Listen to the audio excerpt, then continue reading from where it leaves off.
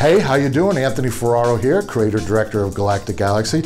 Welcome to another video production diary. This week I want to talk about the storyboards. I really enjoy creating the storyboards. It's really the first time you get to see the show outside of your head. Once the decision was made to shoot on green screen, I knew I was going to need storyboards for every single moment of the show. I found a great animation artist who was able to sketch very quickly. We sat for eight hours, two days in a row, and just storyboarded every single moment of the show.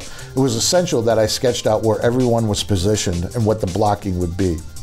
I come from a theater background, and because the show was now essentially a walking, talking graphic novel, I wanted to stage it in a very stylized theatrical manner.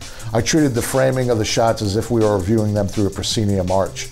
One invaluable takeaway that I'd not planned on was by dictating every single moment to the artist and having to clarify my ideas, I was, in a sense, having a directing rehearsal.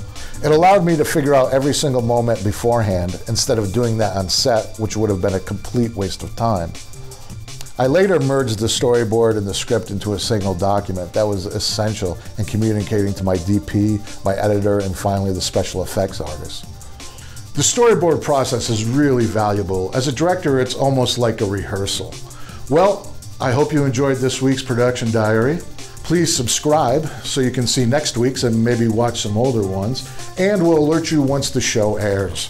Leave a comment, I'd love to know what you think. Sign up for our email newsletter, and remember The journey of a thousand parsecs begins with a single parsec.